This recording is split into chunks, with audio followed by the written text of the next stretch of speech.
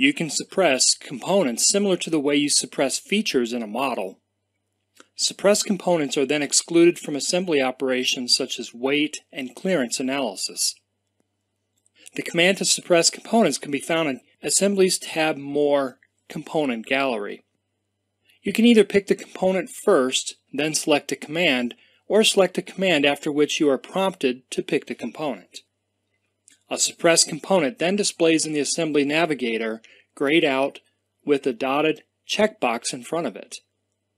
It is important to understand that the checkbox on the Assembly Navigator does not work in the same way as the checkbox on the Part Navigator which controls the suppression of features.